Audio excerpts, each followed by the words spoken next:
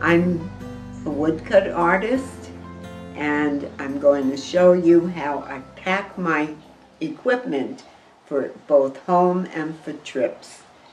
I take my bench hook that holds the wood in place. I put this in a suitcase if I'm going on a trip. I'd have my Shina wood, which is um, soft and easy to cut, and I take a, a one piece with me in my suitcase. I take my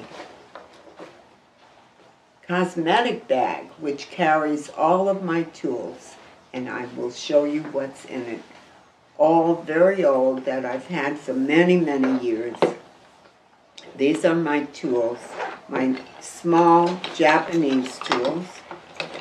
Whoa. And there are basically four kinds of tools. There's the knife, which is called a shochu, the um, V-shaped gouge, which cuts into the wood in this way. There is the rounded gouge, rounded tool that cuts these little lines in there. And the big one that is a ooh, hard to take off. This is a, a one of the ones that's the U-shaped and can be used on large pieces of wood.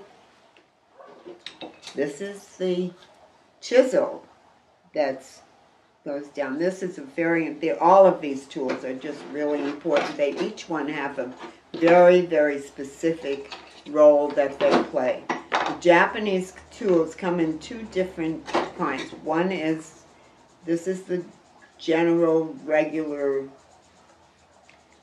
woodcut tool. These are the special tools. They're expensive and they come apart. You can take a knife out and add a new one to it. So they both work very well. These come, these tools come very long handle and I cut them so that I can use them within my hand and it makes it really easy to work with. I carry with me, this is something special. These are my tools that I bought when I was in college. They are 75 years old and I still use them. I love these tools. So I carry all of this with me I carry a rubber mat that keeps things from slipping, very important. I carry a tablecloth in case we're going to a hotel where I want to make sure that I don't leave a mess behind me. So I have this tablecloth that I put out on in the hotel. And the next most important thing is the sharpening of the tools. And that I carry this sharpening stone, a bottle of, little bottle of water to put on the stone, this slip stone that makes the sharpening even better, And this gets rubbed on here and makes a slip of clay that makes the tool slip and slide and become really sharp. I actually have some more tools for sharpening. These are diamond edge uh, diamond um, tools and they kept, you can sharpen your tool this way. Now, the most important thing when you're doing woodwork is the sharpening of the tools and the safety.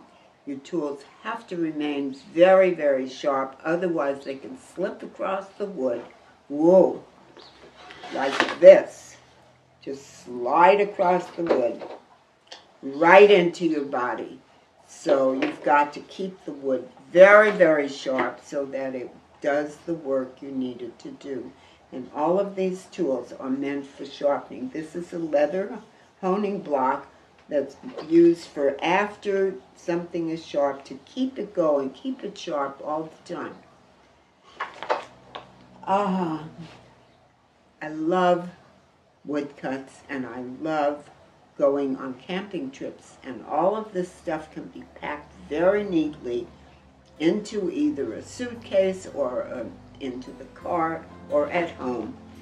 And when you're all finished, this is the last thing, the brush and